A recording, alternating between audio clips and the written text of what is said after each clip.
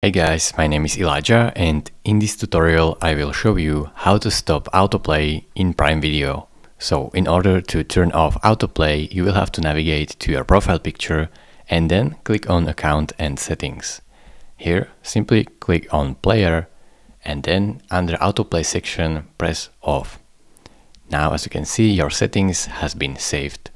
So this autoplay is basically start the next available video automatically for TV shows, when you finish an episode, the next one starts.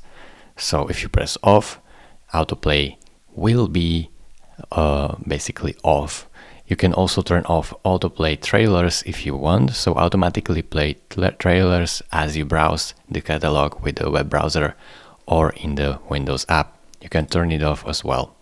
Thank you very much for watching. If this video was helpful to you, consider subscribing and liking this video and I will see you in the next tutorial. Bye bye.